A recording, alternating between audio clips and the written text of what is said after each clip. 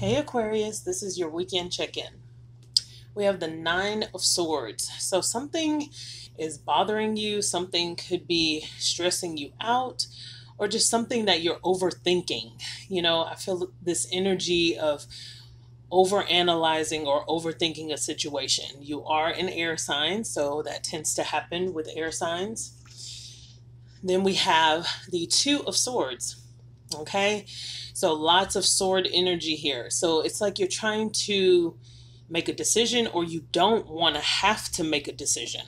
Okay, you don't want to have to make a decision this weekend.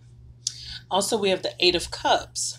Yeah, I feel like you're choosing to walk away because you don't want to have to deal with something. This could be with a family situation, a friend, you know, friend circle, friend group.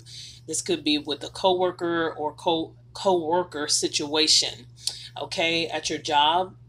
But there's just something that you're not willing to talk about or not willing to deal with, and you would rather walk away.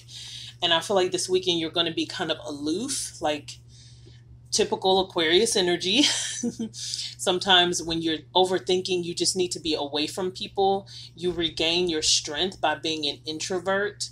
Um, so I feel like you're going to kind of go into introvert mode. We also have at the bottom of the deck the Hermit. So, yes, definitely becoming a hermit this weekend and you're remaining distant. Some of you, if this is about love, some of you feel like, man, I'm so far away from you. I wish I could just get in a car and come and see you but I can't, you know, I'm away from you. So I was picking up that energy as well with some lovers, okay, that you're dating someone who's long distance. Alrighty, have a great weekend. Bye.